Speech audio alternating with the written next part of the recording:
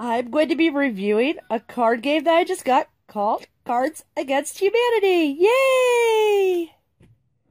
It's the box of Cards Against Humanity, a party game for horrible people. When you open it up, there's an instruction booklet inside of it, and then there are black cards, which are the questions, and a whole bunch of white cards, which are, oh, those are still the black ones. Let's see here. I know my colors, which have some awesome answers on it that you would fill into the questions.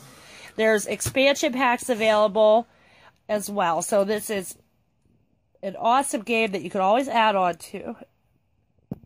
Here's the rules and basic gameplay instructions. You can always pause this video review to be able to better read them more.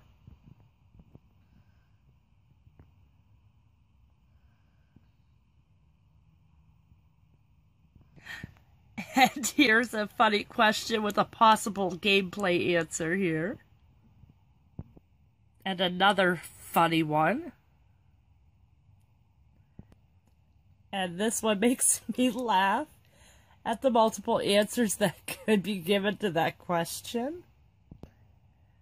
This one also is kind of funny as well. I kind of covered up the letter at the beginning of that word just to keep it a little PG. And here's a final example that's hilarious as to why do I hurt all over? Hmm. so whether you're just hanging out with friends or maybe having a couple drinks or just in the mood for silly, this is an awesome card game. And for 25 bucks, it's well worth it. Plus there's expandable expansion packs that are I believe $10 on Amazon. I'll provide um, more information on that. I think there's expansion pack 1, 2, 3, and 4, or it might be A, B, C, and D.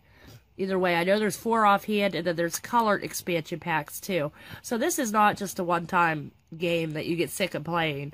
There's so many other uh, cards that can be bought for it.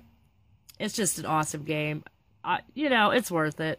We work so hard in life. We might as well just relax a little bit and have some fun like this. Pick up a pack today of these cards, and you will enjoy this game as much as we do. Thanks for watching the video. Check me out on YouTube.